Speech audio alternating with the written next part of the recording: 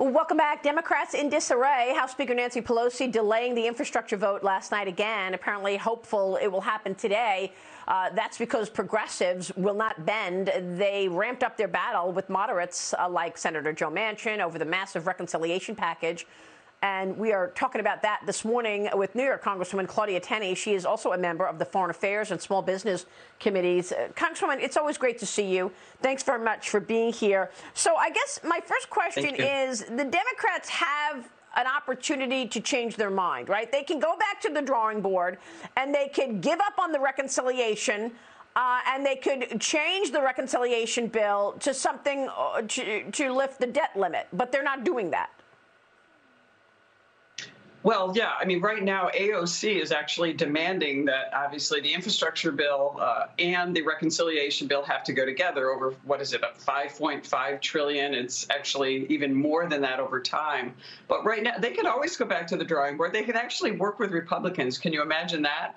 And come up with a, a deal in the House that maybe some of the, you know, we know that some of the Republicans, unfortunately, in my opinion, are sort of cynically taking this calculation that if they vote for infrastructure, you know that that they don't have to that the reconciliation is not going to happen but I would hate to see us helping them with this because this bill is a monstrosity. Both bills, even the infrastructure bill, is really only a small percentage really dealing with infrastructure as we understand it in the true sense. So I'm really concerned about the fact that we don't go back to the drawing board. And I think an important point is, you know, we this is the power game. We're in a blood sport, and I think Republicans need to recognize that not only is all this money and all this spending and all these taxes included in this, there's also language that's has a subversive tone to it that's shifting all the balance of power back to the executive branch and giving them the discretion to make decisions that we're taking away from ourselves. So I think that's another just a huge aspect of this that a lot of Republicans aren't seeing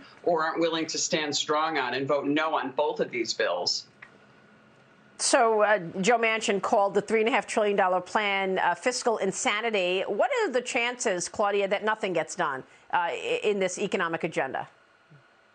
Well, I hope that nothing gets done on this, this economic agenda because I, just listening to you talking about where we are in a new quarter and what's going to happen if any of these things pass, we're going to see, we're going to go back to where we were before the Trump era policies, where we actually cut taxes, you know, which is really important for small business owners, really important for individuals. And, and, and the Democrats actually, AOC, Bernie Sanders, they don't think this is enough, and they don't understand the impact this is going to have on our our economy. You know, encouraging a welfare state, shifting the balance of power. And remember, it's interesting about all of this bill that uh, that we need to understand.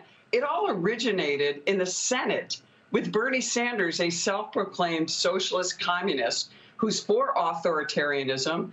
And actually, all appropriations bills should rightly originate in the House of Representatives under our Constitution. So this is a complete disruption of our system intentionally, and that's why you're seeing, you know, this this massive amount of stuff just being thrown in, and uh, Republicans being in a, in a disarray too. Uh, but the Democrats, thankfully, some of them are going to hold out on this and not vote for it in the Senate. And it all comes down to Joe Manchin and Kyrsten Sinema, you know, these so-called moderates. And I, I might add, there isn't any, there aren't any moderates left in the Democratic Party right now. Even if they were to vote on a modified version of this bill, it's still it's still yeah. putting in authoritarianism, communism, you know, a, a welfare type state, and huge taxes, the highest tax increase in our nation's history history.